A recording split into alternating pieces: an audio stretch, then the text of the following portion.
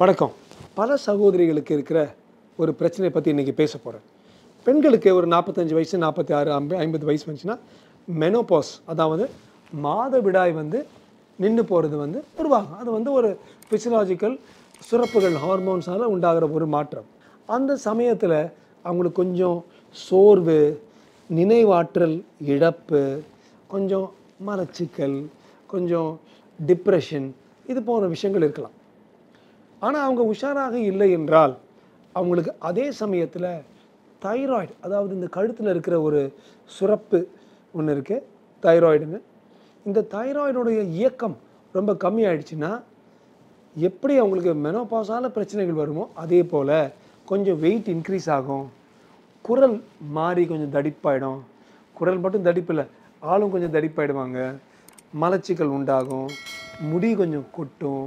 இது ஒவ்வொரு வாட்டும் அந்த கடைசி ஒரு ரெண்டு மாத விடாய்கள் வந்து இரகுலராக அதிகமாக இருக்கலாம் கம்மியாக இருக்கலாம் யூஸ்வலாக அதிகமாக இருக்கும். அதே போல் அவங்களுக்கு குளிர் அவங்களுக்கு தாங்காது.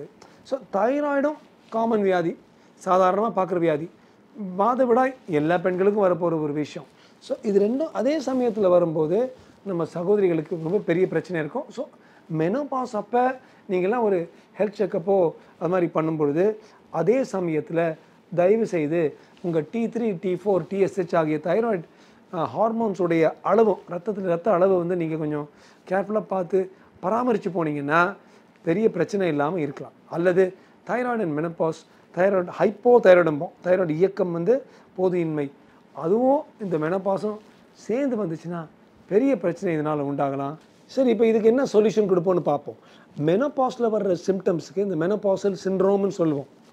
அதுக்கு எந்த சுரப்புகள் உள் சுரப்புகள் இன்டர்னல் செக்ரீஷன்ஸ் கம்மியானதுனால இதெல்லாம் வந்துச்சோ அந்த சுரப்புகளை நம்ம திருப்பி கொடுத்துட்டோன்னா இதுவும் போயிடும். அதுக்கு வந்து பயோ ஐடென்டிக்கல் ஹார்மோன்ஸ் அதாவது மனிதர்களுக்கு உண்டான சுரப்பு போலவே அந்த பயோ ஐடென்டிக்கல் ஹார்மோன்ஸ்னு இருக்குது அந்த ஈஸ்ட்ரஜன் ப்ரொஜெஸ்ட்ரான் கொடுத்தோன்னா ரெண்டு ஃபீமேல் செக்ஸ் ஹார்மோன்ஸ் தான் இருக்குது அது கொடுத்தாலே ஒரு பெரிய வித்தியாசம் ஆகும். அவங்களுக்கு நல்லா வாங்க. அது ஒரு பக்கம்.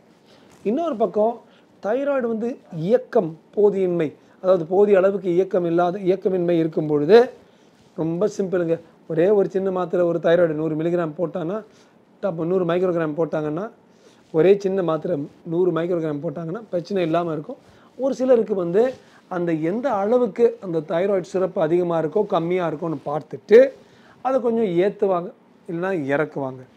ஆக மொத்தம் மெனோபாஸுக்கு உண்டான மாத்திரை மருந்து கொள்கை வேறு தைராய்டுக்கும் வேறு. ஆனால் இது ரெண்டும் நம்ம சரியான பார்த்து சரியாக பார்த்து கொடுக்கலன்னா இது ரெண்டும் சேர்ந்து வந்து நம்ம நம்ம பெண்களையும் நம்ம சகோதரிகளையும் அடித்து அவங்களுக்கு பல பிரச்சனைகள் கொடுக்கலான்னு நான் அடித்து உங்கள் எல்லாருக்கிட்டையும் சொல்கிறேன் சேஃபாக இருங்க பிரச்சனை இல்லாமல் இருங்க.